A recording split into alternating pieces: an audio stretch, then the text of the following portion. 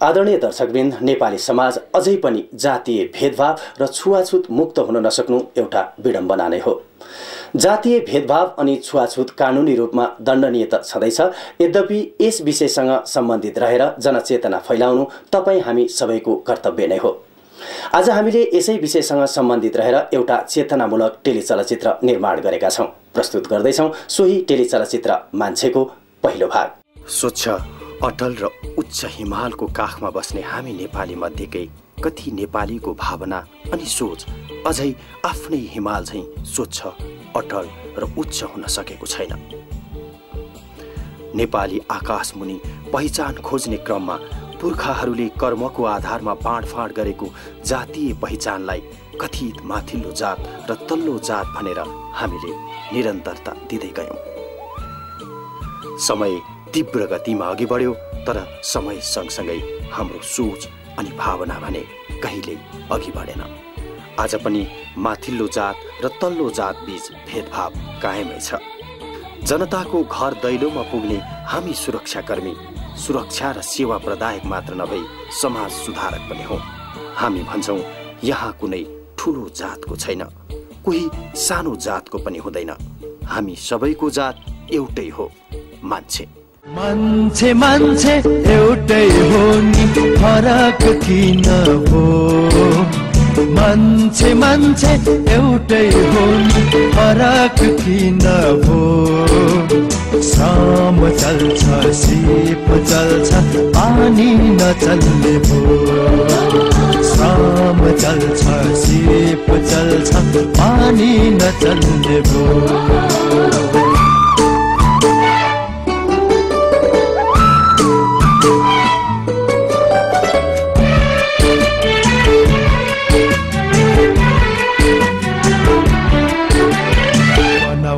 हामीले सुन्दर मूर्ति। सजिन्छन् मन्दिर महलहरू। बजाउँछौ हामीले बाजा गाजा। गुन्जिन्छन् पहाड पर्वतहरू।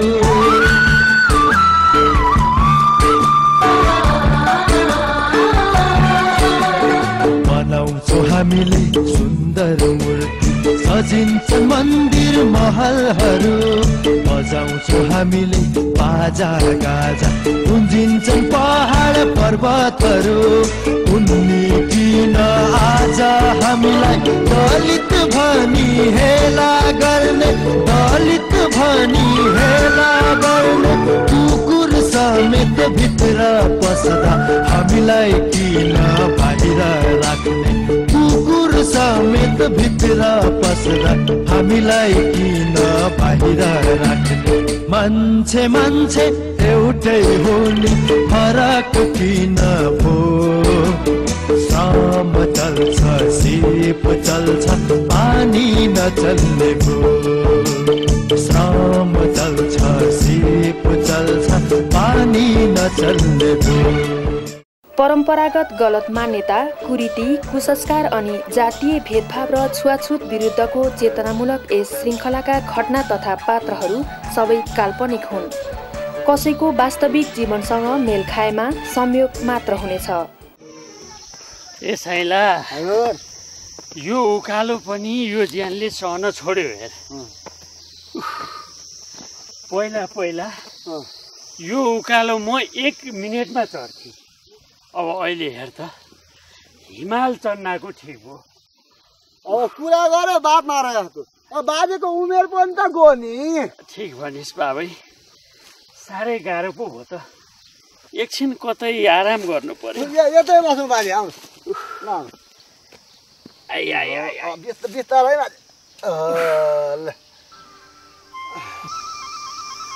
बुढेसकाल बुढेसकालमा साह्रै दुःख पाउँदो रहेछ। साइला। हजुर। यो पानी तिर्खा लगाएर भित्र फोक्सोदेखि नै सुकेर आयो। लौ न बाबै केही गर। अब कुरा गऱ्यो भने बात मारेर जस्तो अब पानी लिन जाउँ भने डेढ दुई घन्टा बाटो छ। के म जाउँ त बाजे? भयो छोडिदे। डेढ दुई घन्टा त घरै पुगिन्छ नि त्यही त। हाय अब। ओहो बाजे ढोक गरे। ए परवेश!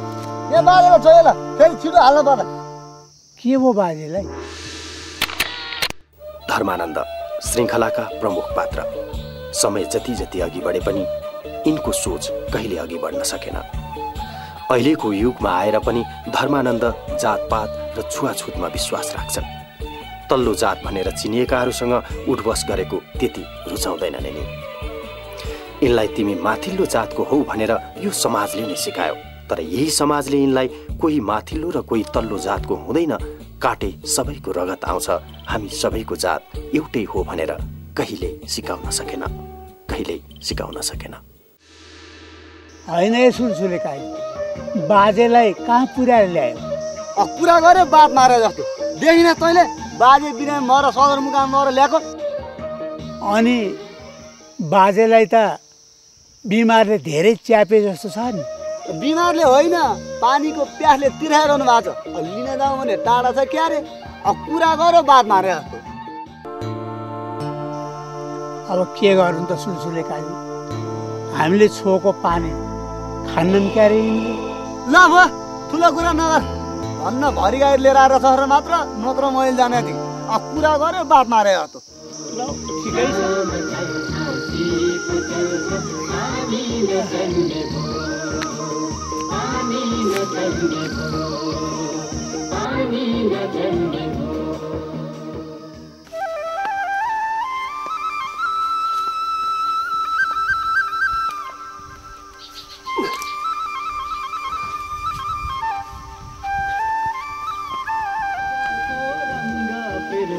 हाम्रो अभिभार मान्छे मान्छे एउटै हो नि फरक किन पो मान्छे मान्छे एउटै हो नि फरक सहरा त जतिसुकै अशुद्ध पानी पनि फिल्टर गरेपछि शुद्ध हुन्छ भन्थे। दैवले पनि हाम्रो कस्तो जात बनाएछ। मुहानको शुद्ध पानी पनि हामीले छोएपछि अशुद्ध हुने अरे। श्रम चल्यो सिप चल्यो तर यही पानी चाहिँ नचल्ने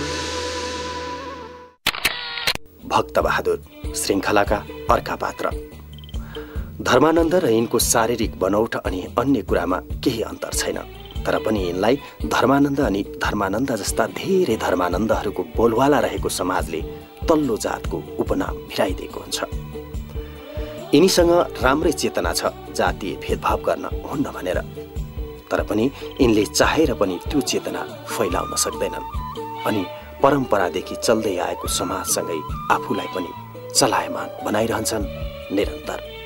ल है पहिला जस्तो अहिले पनि त्यो भक्तिया सन्तानसित लठारेर हिँड्ने होइन नि।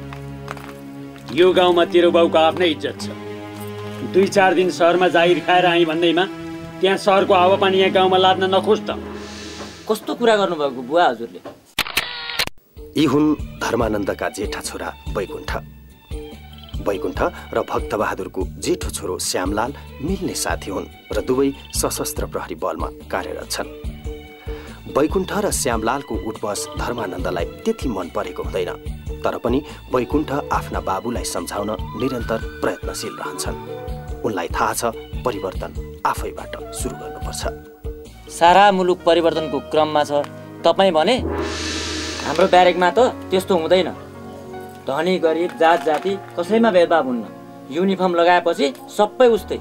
कार्य सम्पादन मूल्याङ्कन योग्यता तालिम र ज्येष्ठताको आधारमा दर्जा छुट्याइन्छ। मलाई त त्यस्तो केही लाग्दैन। श्यामेले पकाएको खान्छु पनि सँगै उठबस पनि गर्छु र आज पनि सँगै आएको यिनीहरूको बाउ छोरा भेट्यो कि सधैँ यस्तै। यसो घरैसी कुरा गरौँ भन्यो। बाउ छोराको भेटुना साथ खालि त्यही कुरा। होइन बिरामी मान्छे कति कराइराख्नु भयो भनेको। चुप लाएर बस्नुहोस् न छोरो भर्खर आइरहेछ। चुपो लाएर बस्ने होइन माथिबाट पुस्तक लिएर आइज। मेरो घरमा मेरै शासन चल्छ कुरो बुझिस् तैँले?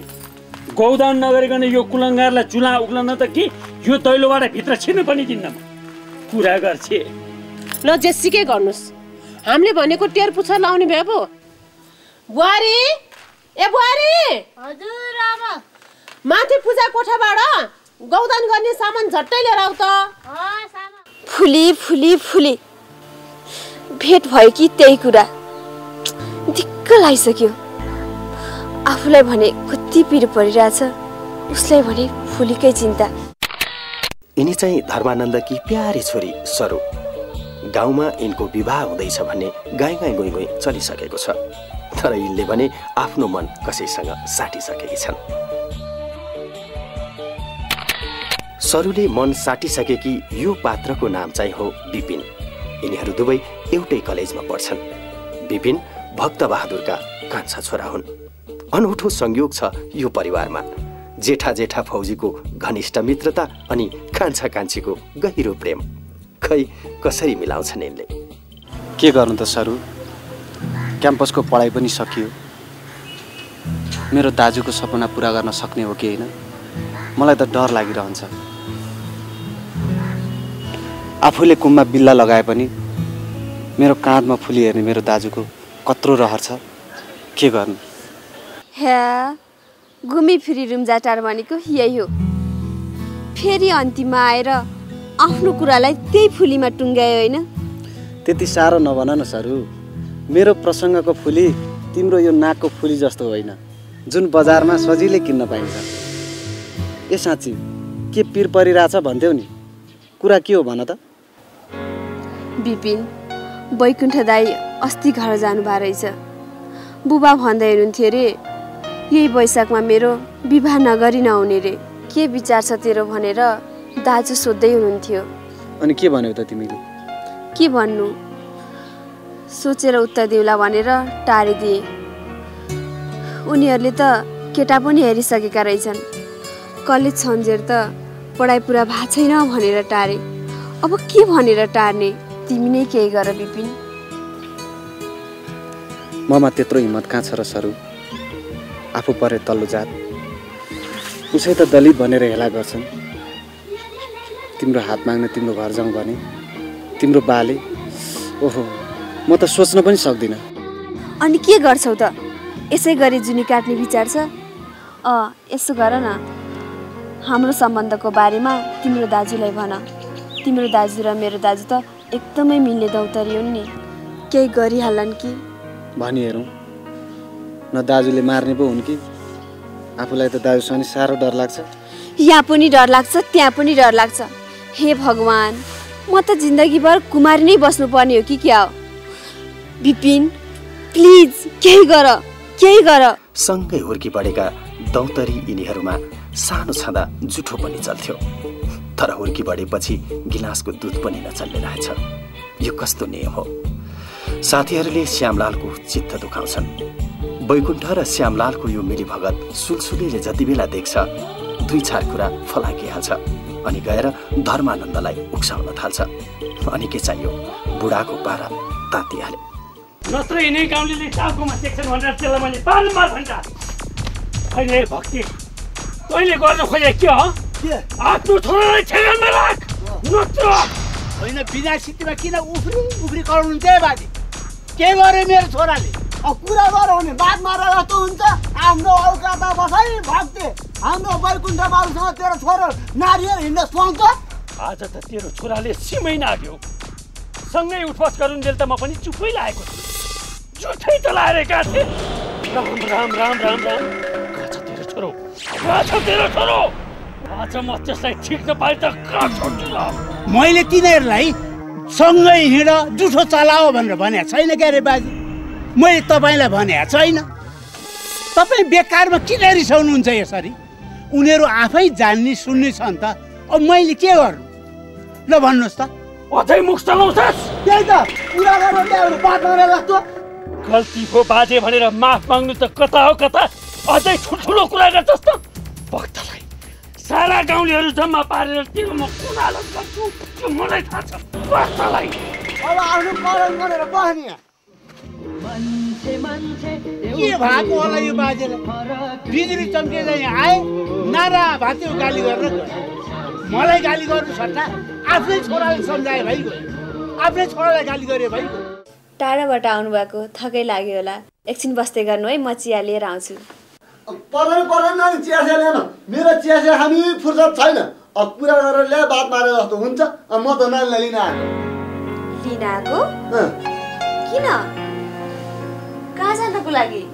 कुरा गरेर बात मारे भने जस्तो बरु सोध न केटा को भनेर म भनिदिइहाल्छु नि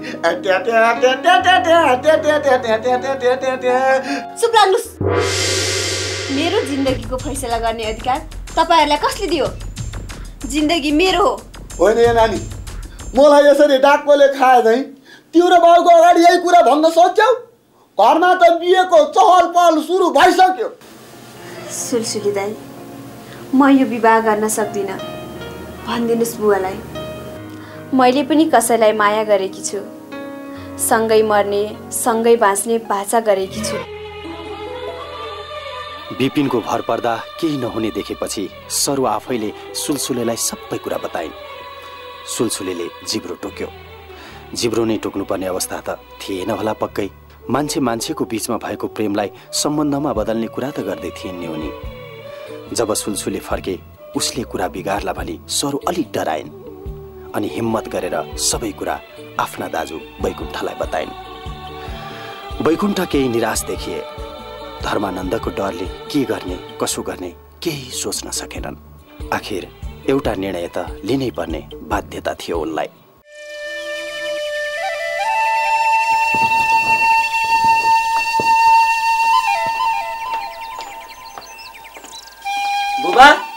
ए बुबा।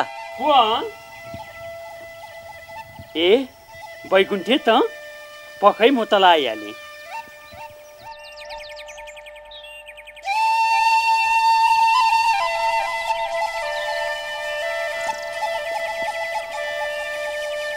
अहिले के हो बैकुण्ठी आज त त दौरा सुरुवालमा चिटिक्क परेर पो आएको छस् त। यसो हेर्दाखेरि त जन्त हिँडिया जस्तो पो देखिन्छस्। हो बा। सम्झ्यो भने म जन्त पनि गएर आएको हो अनि कसैलाई डोलीमा चढाएर पनि। जन्त पनि गएर आएको रे। टोलीमा पनि चढाएर आएको रे। अब फेरि सम्झ्यो भने पनि भन्छस् अनि तेरो कुरो त मैले बुझिनँ नि त बाबै म बुझाइहाल्छु नि बुबा। सरू!